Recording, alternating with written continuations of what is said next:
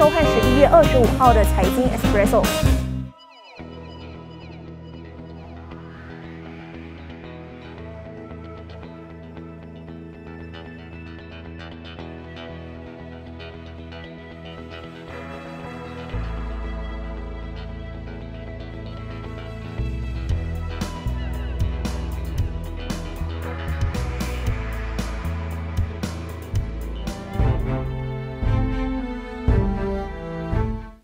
晚上好，我是嘉炫。新闻开始由股市走向，市场缺乏新鲜指引。尽管马新两国已经确定在下个礼拜一落实疫苗接种者旅游走廊计划 （VTL），但依然未能够提振市场情绪。马股窄幅波动，失守一千五百二十点大关，闭市时跌了四点六七点，收报在一千五百一十七点六零点。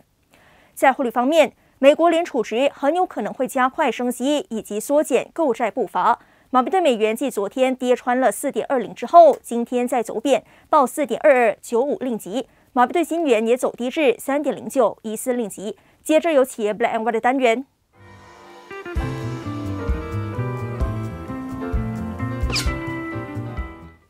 首先来看云顶和云顶大马截至九月的业绩报告。受关闭封锁措施打击，云顶第三季收入提高百分之六至三十五亿零两百一十五万令吉。但净亏损却从一亿三千零七十五万令吉扩大到三亿四千四百五十五万令吉，累计九个月，尽管云顶的营收增加百分之二至八十六亿九千一百九十一万令吉，但依然亏损十二亿三千九百八十四万令吉，多过前期的十亿四千九百一十二万令吉。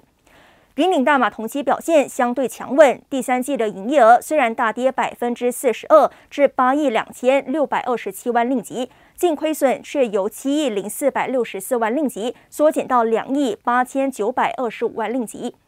云顶大马首九个月的收入减少百分之三十五至二十二亿六千七百四十九万令吉，赤字则是降到十一亿两千零九十五万令吉，远低于前期的二十亿两千三百零一万令吉。展望未来，云顶认为，在疫苗接种加快、边境逐步开放等利多推动之下，大马以至其他市场的业务将会持续复苏。该集团也审慎乐观看待未来的业务展望。高档吸尘机品牌 Dyson 炮轰大马代工商开泰对待员工的方式并无长足进展，因此决定撤除部分的生产线。在最大客户终止合作之后，近期因为业绩转亏而节节败退的开泰，今天更是兵败如山倒，股价应声跌停，大跌三十五仙或百分之三十，降至八十二仙，写下六个月新低，成交量超过七千三百零三万股。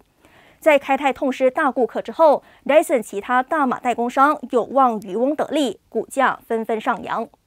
其中，星光资源一度飙升五十四仙或百分之三十，升上二令级三十四仙涨停水平。之后面对套利，闭市时收报在一令级九十九仙，全天依旧上涨十九仙。